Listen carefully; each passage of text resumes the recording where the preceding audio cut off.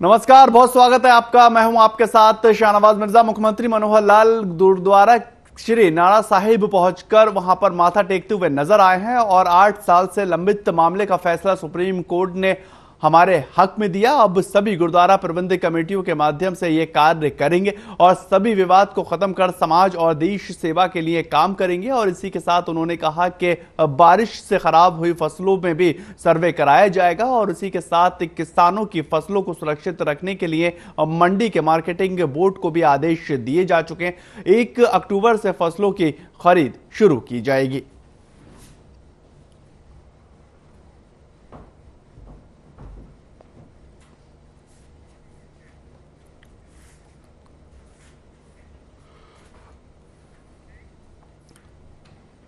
तो वहीं पर दिल्ली में जेपी दलाल की अगुवाई में आरती एसोसिएशन की बैठक हुई है और इसी बैठक में सरकार और आरतियों के बीच सहमति नहीं बन पाई। इसके बाद आरती हड़ताल को खत्म करने को तैयार नहीं हुए हैं और साथ ही आरतियों ने कहा है कि हमारी हड़ताल जारी रहेगी और सरकार कोई भी मांगों पर विचार जो है नहीं कर रही। और आरतियों ने बिना सरकार फ़सल की खरीद नहीं कर पाएगी और आरती जो है वो अपनी मांगों को लेकर अडिग नज़र आ रहे हैं और आगे किस तरह से हड़ताल खत्म होगी इसके ऊपर भी जो आरती एसोसिएशन है वो नज़र बनाए हुए है।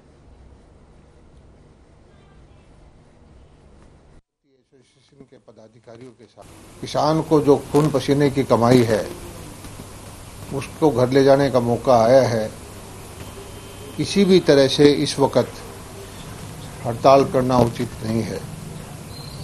उन्होंने अपनी समस्याएँ रखी, अपनी मांग रखी।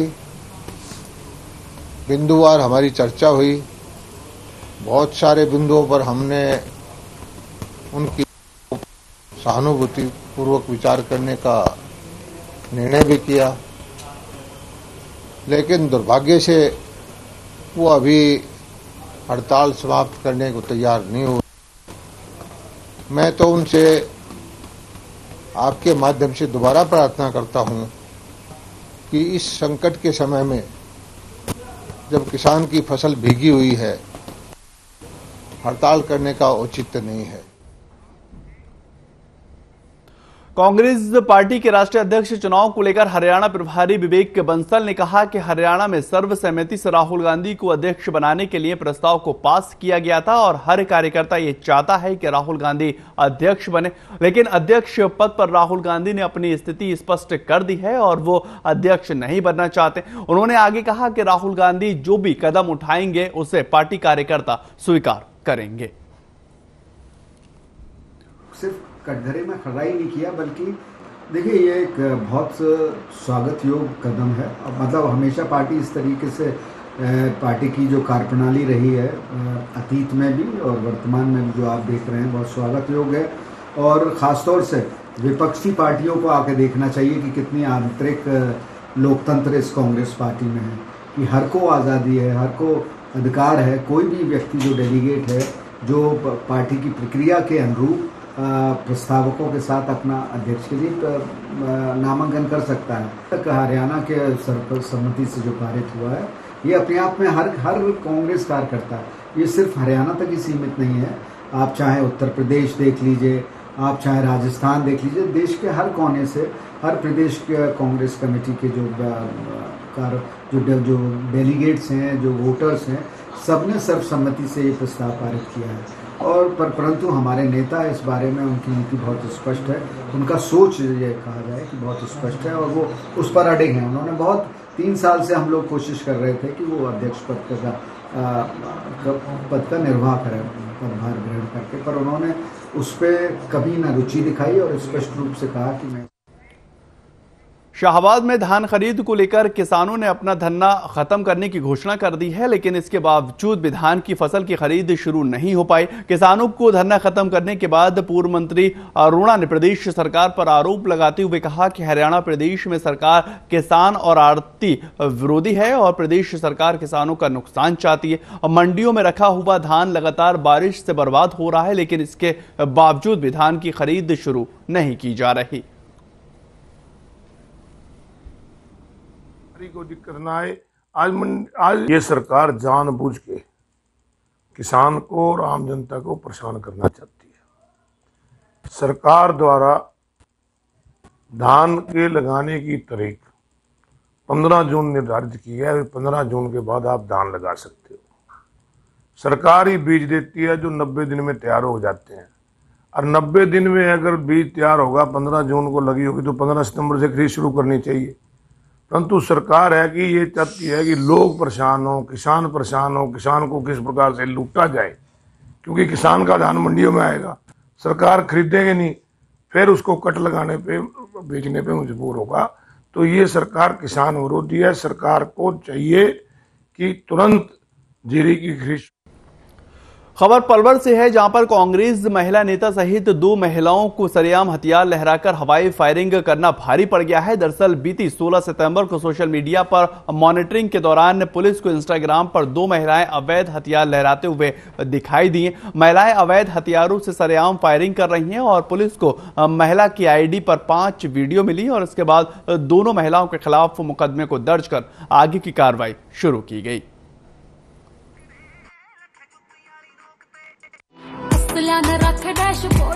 दो महिलाएँ और असला के लेके फ़ोटो वायरल किए हुए हैं, जिन्होंने सोशल मीडिया पर तो उससे हमने उसके कंप्लेन पे हमने साइबर पुलिस स्टेशन में मुकदमा दर्ज किया और जो हमने फिर आइडेंटिफाई किया, उनकी उससे तो उससे पता चला एक दिशा गौतम महिला है, जो कि कांग्रेस की नेत्री है।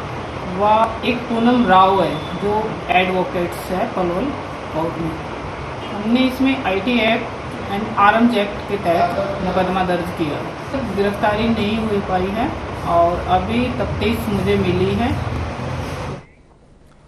हिसार में सोनाली फोगाट के परिवार ने जाट धर्मशाला में एक महापंचायत बुलाई है और उसी दौरान सोनाली के भाई रिंकू ढाका और वतन ढाका ने सोनाली के बयानों को लेकर माफ़ी मांगी। साथ ही महापंचायत में सोनाली के परिवार ने कुलदीप बिश्नोई पर निशाना साधा और आपको बताएँ कि सोनाली फोगाट के भाई रिंकू ढाका ने कहा कि गोवा में एक शख्स ने सुधीर के सामने कुलदीप का नाम लिया था और सोनाली की मौत के बाद भी कुलदीप बिश्नोई सीएम से विकास कार्यों के लिए मिलने गए थे। सोनाली के भाई वतन ढाका ने कहा कि 23 अक्टूबर को आदमपुर में जनसभा बुलाई गई है और उसमें सोनाली फोगाट के सभी कार्यकर्ताओं को बुलाया जाएगा।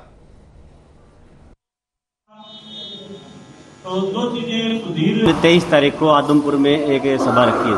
हम जितने हमसे जो लोग जुड़े हुए हैं, सोनाली जी सोनाली जी ने तीन विधानसभा में काम किया है।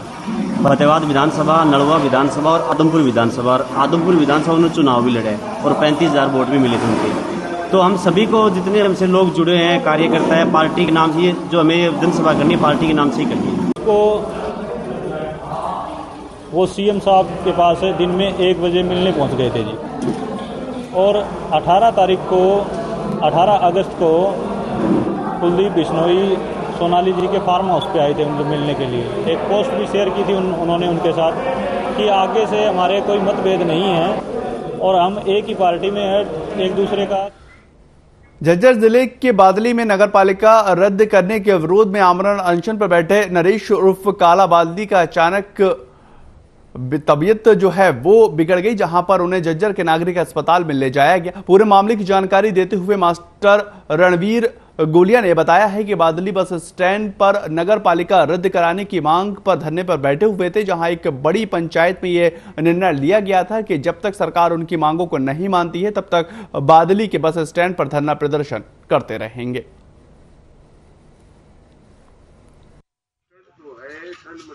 भाई, जो हमारे भाई अनशन पर बैठे हैं, हम प्रशासन को कहते हैं कि इनकी तबीयत बहुत ज़्यादा नाजुक होगी। आठ दिन से लगातार ये भूख हड़ताल पे बैठे हैं। और कोई जायज़ डिमांड है, नाजायज़ डिमांड कोई है नहीं। हम सरकार को सचेत करना चाहते हैं कि जो आज आठवां दिन चल रहा है, हम कहते हैं भाई सरकार को इस बात को जल्दी से जल्दी इस पर प्रकाश डालना चाहिए और सोचना चाहिए, जो आठ दिन से लगातार भूख हड़ताल अंबाला में डेंगू का कहर लगातार बढ़ता ही जा रहा है और साफ़ पानी में पनपने वाले मच्छरों के डंग से लोग काफ़ी ज़्यादा बीमार होते नज़र आ रहे हैं। आपको बताएँ कि ज़िले में अब तक डेंगू के 20 मामले निकलकर सामने आ चुके हैं और इसी को लेकर स्वास्थ्य विभाग की टीम जो है वो लगातार सर्वे करती हुई नज़र आ रही उनकी सैंपलिंग में जुटी हुई है और किस तरह से जो स्वास्थ्य विभाग की टीम है वो जाँच करती हुई नज़र आ रही है और कहाँ कहाँ कितने मामले बढ़ते हुए नज़र आ रहे हैं इस खास रिपोर्ट से समझें।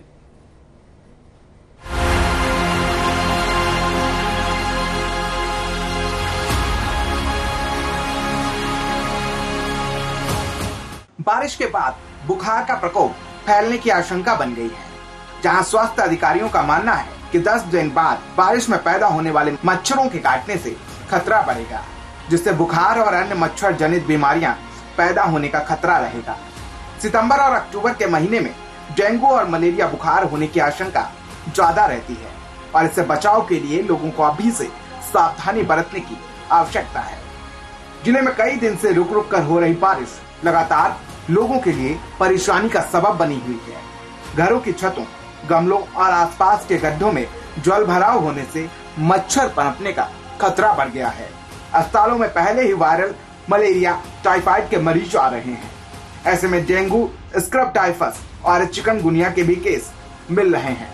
जहाँ अंबाला ज़िले में डेंगू के 20 मामले सामने आ चुके हैं और इससे बचाव के लिए भी स्वास्थ्य विभाग की कोशिशें लगातार जारी हैं। वहीं स्वास्थ्य विभाग के डॉक्टर सुनील हरी ने बताया कि अब तक अंबाला में डेंगू के 20 मामले संज्ञान में आए हैं। यह सभी मामले अलग अलग क्षेत्र के हैं। इसके साथ ही सभी लैब्स और हॉस्पिटल के द्वारा जिन भी लोगों को बुखार है, उनकी सैंपलिंग की जा रही है। अभी अगर हम डेंगू की बात करें तो डेंगू के अब तक जो है 20 मामले अम्बाला जिला में रिपोर्ट हो चुके हैं, जिसमें हमारी जो लैब है, वहाँ पर करीब सौ से सवा सौ सैंपल डेली प्रोसेस किए जा रहे हैं। एन एस वन जो डेंगू एलाइजा के तो उसमें 20 मामले अब तक जो है रिपोर्ट हुए हैं। देखिए, मैम, स्वास्थ्य विभाग पिछले तीन महीने से ही मतलब लगातार हमारे यहाँ सैंपलिंग हो रही है। डेंगू के लिए सभी स्वास्थ्य केंद्रों पर करीब हमारी जो छोटी बड़ी चालीस संस्थाएँ हैं, वहाँ पर डेंगू के सैंपल हो रहे हैं। उल्टी और पेट में दर्द जैसे लक्षण भी मिल सकते हैं। तो उस केस में उनको तुरंत जो है अपने जो इन्वेस्टिगेशन करानी चाहिए स्वास्थ्य केंद्र पे जाके, जो कि बिल्कुल फ्री उपलब्ध है। इसके साथ ही स्वास्थ्य विभाग ने अपील करते हुए कहा कि डेंगू के मच्छर साफ़ पानी में पनपते हैं। तो कहीं भी पानी को इकट्ठा ना होने दें। मच्छर को बनने में पाँच से सात दिन लगते हैं। यदि हम कहीं भी जमा पानी, जैसे कूलर, ढक्कन या कहीं भी पानी जहाँ जमा होता है, उसे बार बार बदलते रहेंगे तो मच्छर और बीमारी कम हो जाएँगे। स्पेशल डेस्क, हर खबर।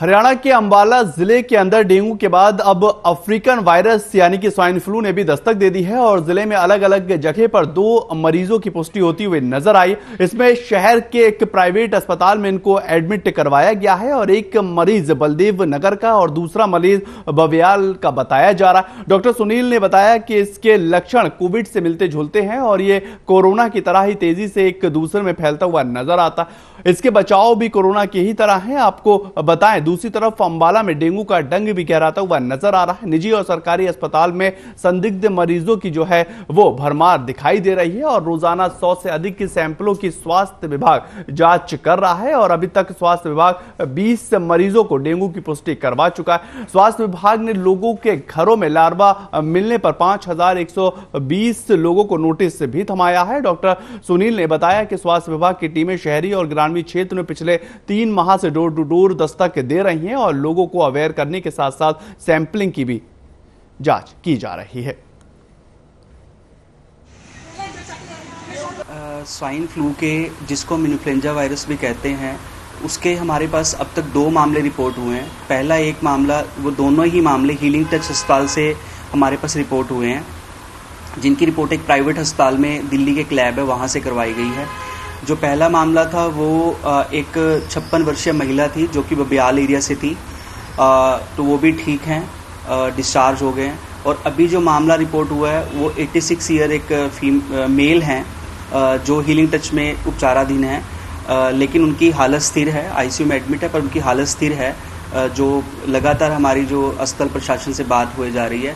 तो ये मामला बलदेव नगर एरिया से संबंधित वाइल्ड लाइफ विभाग की तरफ़ से एक से सात अक्टूबर तक वन प्राणी सुरक्षा सप्ताह के तहत भिवानी के चिड़ियाघर में इको प्रश्नोत्तरी और पेंटिंग प्रतियोगिता का आयोजन किया जा रहा है और इसमें आठवीं से बारहवीं कक्षा तक के छात्र भाग ले सकते हैं। आपको बता दें कि प्रतियोगिता वन प्राणी जीव के संबंध में बच्चों को जागरूक करने के उद्देश्य से इस कार्यक्रम को किया जा रहा। क्या कुछ खास है? खास रिपोर्ट से समझें।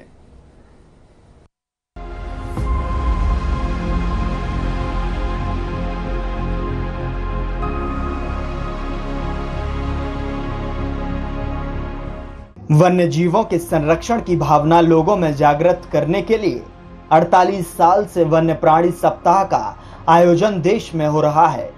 वन्य जीव बहुल क्षेत्र में इस आयोजन का महत्व तो अधिक बढ़ जाता है। यही वजह है कि कार्बेट, टाइगर रिज़र्व और उससे सटे वन प्रभागों की ओर लोगों में वन्य जीवों के लिए संरक्षण की भावना विकसित करने को ज़ोर शोर से कई कार्यक्रम भी आयोजित किए जा रहे हैं।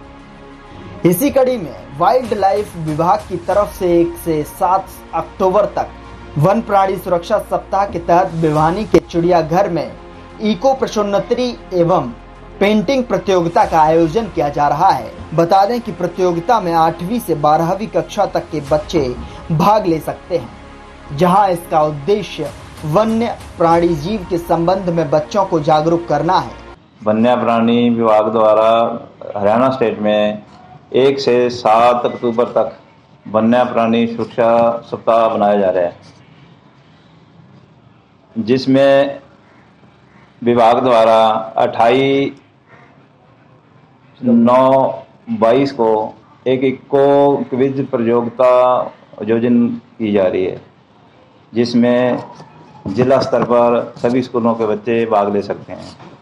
वाइल्ड लाइफ विभाग के इंस्पेक्टर परमजीत ने बताया कि विभाग की तरफ़ से एक से सात अक्टूबर तक वन्य प्राणी सुरक्षा सप्ताह मनाया जा रहा है, जहाँ 28 सितंबर को इको प्रश्नोत्तरी प्रतियोगिता करवाई जाएगी, ताकि बच्चे वन्य प्राणियों की सुरक्षा कर सकें। इस दौरान पेंटिंग और प्रश्नोत्तरी प्रतियोगिता भी करवाई जाएगी। उन्होंने बताया कि परीक्षा के लिए पेपर विभाग उपलब्ध करवाएगा। जबकि ड्राइंग सीट, रंग, पेंसिल आदि प्रतिभागी छात्र छात्राओं को स्वयं लेकर आना होगा, जिसके बाद विजेताओं को सम्मानित भी किया जाएगा। उन्होंने बताया कि एक से सात अक्टूबर तक चिड़ियाघर में आने वालों से टिकट नहीं ली जाए सभी के लिए सात दिन चिड़ियाघर फ्री रहेगा। ऐसे में बात की जाए वन्य जीवों की विलुप्ति की आशंकाओं के कारण भारत में सर्वप्रथम उन्नीस सौ बावन को वन्य जीव प्राणी सप्ताह पर विचार किया गया था। तो वहीं वर्ष 1972 में इंडियन वाइल्ड लाइफ बोर्ड का गठन हुआ। इसके बाद से यह कार्यक्रम लगातार आयोजित हो रहा है और बच्चों को जागरूक किया जा रहा है।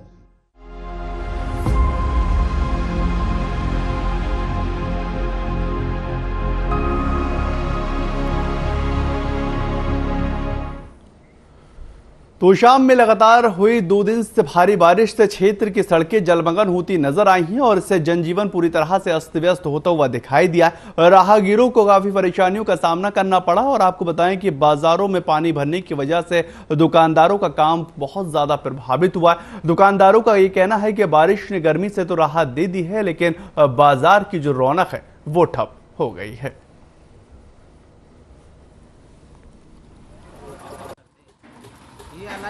ये गर्मी से तो राहत है, बाकी रोड का हाल देखो तो बहुत बुरा है, परेशान है कश्मीर दुकानदार इस वजह से सारी रोडें पानी से भरी रहती हैं यहाँ की। कस्टमर को आने जाने में परेशानी होती है, दुकानदार खाली है। बस ये है कि गर्मी से राहत है, इसलिए तो वहीं पर फरीदाबाद के अंदर भी दो दिन से बारिश होने की वजह से कई सड़कें जलमग्न हो गईं और इसी दौरान डीसी विक्रम सिंह सहित अन्य पुलिस प्रशासन ने शहर के कई क्षेत्रों का दौरा किया। इसके बाद अब नेशनल हाईवे अधिकारी गड्ढे भरने में लगे हुए हैं और लोगों का ये कहना है कि शहर की सड़कों पर गड्ढे हो गए हैं और फ़िलहाल पुलिस कर्मी गड्ढों को भरने का भी काम जो है वो सहयोग करते नज़र आ रहे हैं। कि मैं देख रहा हूँ दो तीन दिन से लगातार यहाँ पर बारिश हो रही है, पानी कोई निकासी नहीं है, पूरा शहर जलमग्न हुआ हुआ है, सभी रास्ते बंद हुए पड़े हैं, प्रशासन अपना काम तो कर रहा है, लेकिन उन टैंकरों से पानी की कोई निकासी नहीं होने वाली है। अब तो कल मैं गया था रेलवे स्टेशन की तरफ़, सारा पानी, सारी सड़कें टूटी हुई हैं, खड्डे ऐसे हुए पड़े हैं उसके अंदर, अभी परसों भी देखा मैंने यहाँ पर हादसा हुआ अगर हम फरीदाबाद का पूरे एनसीआर की हम बात करें तो पूरे एनसीआर में तीन दिन से लगातार वर्षा जारी है, और इस समय पूरा फरीदाबाद जलमग्न है चाहे आप मेन हाईवे देख लीजिए, चाहे आप सेक्टरों के और रोड देख लीजिए, जहाँ पर इतना पानी भरा हुआ है कि, और ये नहीं पता चलता कि यहाँ आने, उसमें गड्ढा है या नहीं है। अगर मैं समझता हूँ कि अगर बरसातों से पहले अगर इन गड्ढों को भर दिया जाता तो जो ये हादसे हो रहे हैं, जितनी एक आप देख रहे हैं गाड़ियाँ बंद हो रही हैं पानी के अंदर जा करके तो ये हादसे ना फरीदाबाद में लगातार हो रही बारिश से पूरे शहर के अंदर जलभगाव जैसी स्थितियाँ पैदा हो गई हैं और बल्लभगढ़ मंडी में भी तीन से चार फीट पानी भर गया तस्वीरें बल्लभगढ़ सब्ज़ी मंडी की हैं, जहाँ पर नगर निगम और मंडी सिक्योरिटी के दावों को भी पानी पानी कर दिया गया और इन तस्वीरों से आप ये समझ सकते हैं कि किस तरह से फरीदाबाद में विकास हुआ। इसी को लेकर सभी दुकानदारों ने कामकाज भी ठप कर दिया और अपनी नाराज़गी को व्यक्त किया। उन्होंने कहा कि पिछले कई सालों से इस समस्या से जूझते हुए नज़र आ रहे हैं और फरीदाबाद में दो दो मंत्री होने के बावजूद भी मंडी का विकास नहीं हो पाया। आरती के मुताबिक लगातार हो रही बारिश और जलभराव के चलते उनका कामकाज ठप हो रहा है और इससे उनको काफ़ी नुकसान हो रहा है।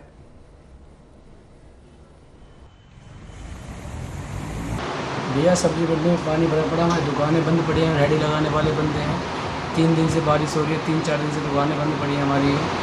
इस समय अपना रोज़गार भी बंद पड़ा है कुछ खाने कमाने के लिए कुछ भी नहीं है।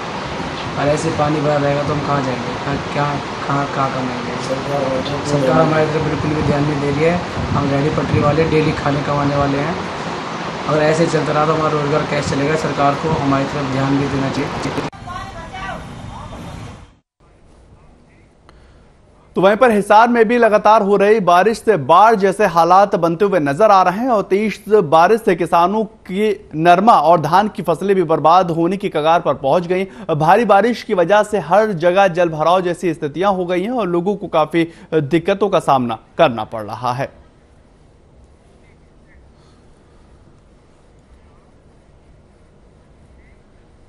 बहादुरगढ़ में दिन रात हो रही बारिश से किसानों और आम जन बेहाल हो गए हैं, जहाँ एक ओर खेतों में खड़ी फ़सलों की फ़सल भी बर्बाद होती हुई बारिश की वजह से नज़र आ रही है तो वहीं पर छोड़ाहानी गाँव में भी मातन लिंक ड्रेन ओवरफ्लो होकर टूट गई है और इसी को लेकर ड्रेन में 15 से 20 फीट चौड़ा कट बन गया है और इसी की वजह से ड्रेन का पानी खेतों में भरता हुआ नज़र आ रहा है। धान की फ़सल पानी में पूरी तरह से जलमग्न हो गई, हालाँकि किसानों ने सिंचाई विभाग और प्रशासनिक अधिकारियों को सूचना दी, लेकिन ड्रेन का कट बंद नहीं किया गया। किसानों का कहना है कि ड्रेन को ठीक करने के नाम पर सिर्फ़ लीपापोती होती रही।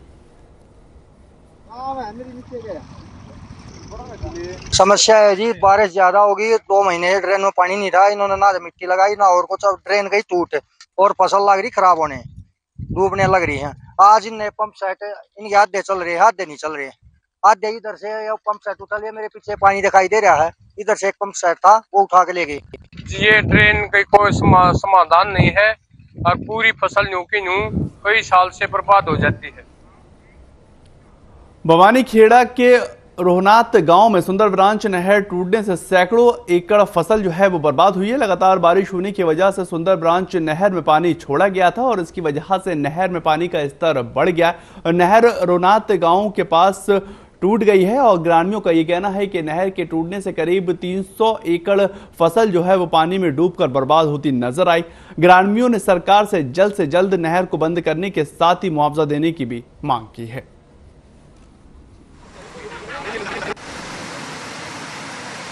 यहाँ पे नहर कल शाम को चार बजे से पानी ऊपर को चल रहा था और हमें उसके लिए क्या नाम महकमे को कॉल वगैरह की गई, लेकिन उन्होंने फ़ोन स्विच ऑफ़ कर लिया, हमारी कोई मांग नहीं सुनी गई, ना ही पानी पीछे से कम किया गया, अभी भी नहर टूटी हुई है बहुत ज़्यादा।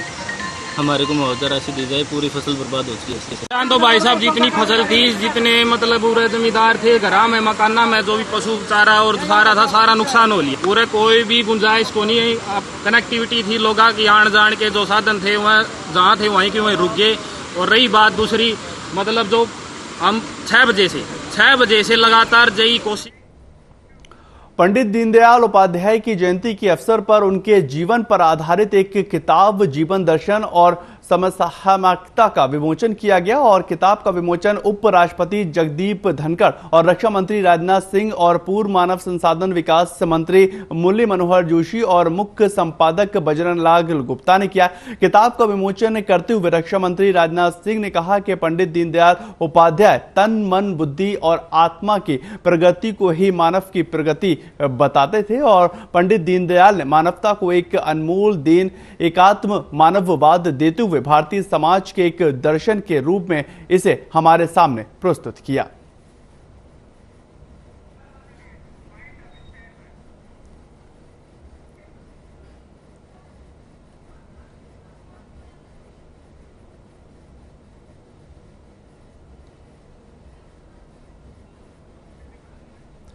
ये तस्वीरें आप दरअसल जो देख रहे हैं, ये दिल्ली की तस्वीरें हैं, जहाँ पर रक्षा मंत्री राजनाथ सिंह ने किताब का विमोचन किया है और मानववाद दर्शन को सार्थक बताया। पंडित दीनदयाल उपाध्याय पर किताब का ये विमोचन होता हुआ नज़र आया है और इसमें रक्षा मंत्री राजनाथ सिंह के साथ साथ तमाम वहाँ पर गणमान्य लोग जो हैं उपस्थित थे।